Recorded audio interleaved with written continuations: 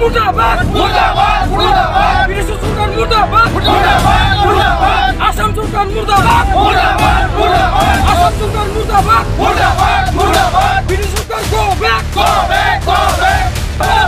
Bangla দলং নাঙ্গো বাংলা দলং নাঙ্গো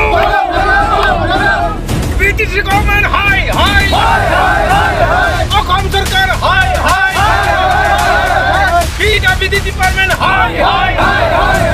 পিডব্লিউডি ডিপাৰ্টমেন্ট হাই বিদেশি সৰকাৰ হাই হাই এই আমাৰ ৰামচাৰতাৰী পি ডাব্লিউ সাউদৰবিধা মহাৰাণী পি ডাব্লিউ ডি ৰোডৰ যিটো আপোনাৰ পি ডাব্লিউ ডি ৰোডৰ ওপৰৰ আমাৰ এই ধৰ্মবীৰৰ ওপৰৰ যিটো পকী দলং সেই পকী দলং আজি তিনি বছৰ ধৰি সেই এনেকুৱা জনাজন্য অৱস্থা যাৰ বিনিময়ত আজি এই অঞ্চলৰ ৰাইজে যাতায়াতৰ কাৰণে ইমান প্ৰব্লেম আৰু যাৰ কাৰণত আজি এই স্কুলত যোৱা ছাত্ৰ ছাত্ৰীবিলাকৰ ইমান অসুবিধাৰ সন্মুখীন হ'ব লগা হৈছে।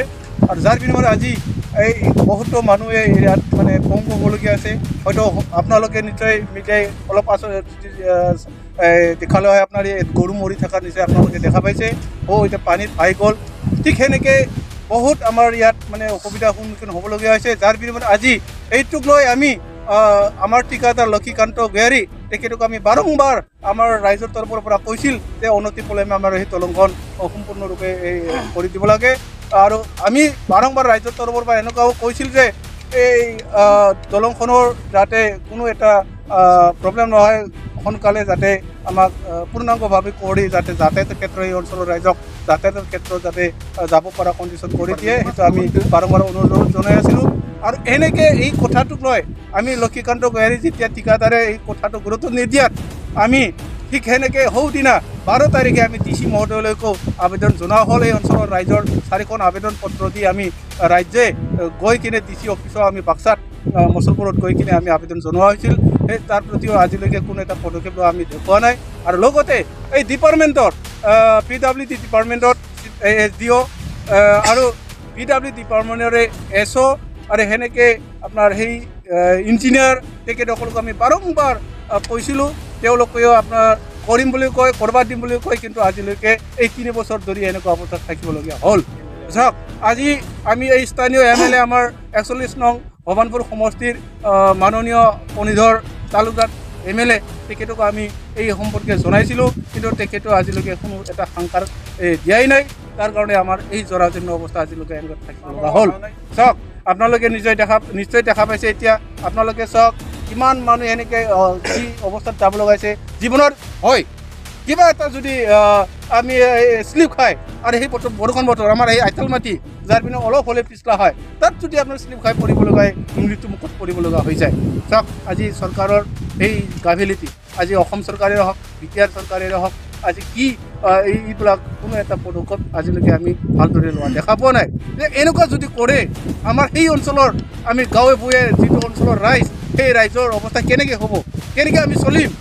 সেইবিলাক একচুৱেলি চৰকাৰে বি টি আৰ চৰকাৰৰ ক'ত পৰিব লগা হৈ যায়।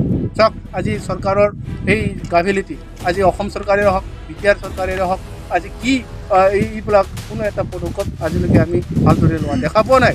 যে এনেকুৱা যদি কৰে আমাৰ সেই অঞ্চলৰ আমি গাঁৱে ভূঞে যিটো অঞ্চলৰ ৰাইজ সেই ৰাইজৰ অৱস্থা কেনেকৈ হ'ব কেনেকৈ আমি চলিম সেইবিলাক একচুৱেলি চৰকাৰে বি টি আৰ চৰকাৰে হওক বা অসম চৰকাৰে হওক তাৰ ওপৰত অনতি পলমে পদক্ষেপ ল'ব লাগে আৰু আমাৰ যাতে এই অঞ্চলৰ ৰাজ্যত যাতে সুভাৱে যাতায়াত কৰাৰ ব্যৱস্থা যাতে কৰি দিব লাগে সেইটোৰ কাৰণে আমাৰ এই সাংবাদিকত নিউজৰ থ্ৰুৱেদি আমি বিশেষ অনুৰোধ জনাইছোঁ অসম চৰকাৰ বা বি টি আৰ চৰকাৰ বা ইয়াত ডিপাৰ্টমেণ্টে থকা কৰ্তৃপক্ষসকলক আমি বিনম্ৰভাৱে অনুৰোধ জনাইছে ৰাইজে এই অঞ্চলৰ ৰাইজে যাতে অনতি পলমে সেইটো পকী দলং আৰু সেই পকী দলঙৰ বৰ্তমানলৈ সম্পূৰ্ণ নোহোৱালৈকে বৰ্তমান যাব পৰা কণ্ডিশ্যন কৰি দিয়াৰ কাৰণে আমি ৰাইজৰ তৰফৰ পৰা বিশেষ আহ, অনুৰোধ জনাইছোঁ। আমি তেওঁলোকলৈ বিনম্ৰভাৱে অনুৰোধ জনাইছোঁ। তো এইখন অঞ্চলৰ মোটামুটি প্ৰায় বজালী অঞ্চলৰ পৰাও আহে আৰু সেনেকৈ আমাৰ এই অঞ্চলৰে গাঁৱে গাঁও চুবুৰীয়া হিচাপে প্ৰায় দহটামান এনে চুবুৰীয়া চুপা আছে। সেই চুপাৰ মানুহবিলাকে সেই ৰাস্তাইদি যাতায়াতো কৰে। আজি তেওঁলোকে মানে সেনেকুৱা মানে অৱস্থা হৈছে তেওঁলোকে আজি সেই ৰাস্তাইদি আহি এই ইয়াৰ পৰা ঘূৰি যাই থাকিব লগা হয়। একদম আপোনাৰ জালা অঞ্চলৰ অঞ্চলীয় অঞ্চলৰ আপোনাৰ বজালী অঞ্চলৰ এই পূব চাইডৰ অঞ্চলৰ মানুহবিলাকে এই ৰাস্তা এতিয়া যাতায়াত কৰে।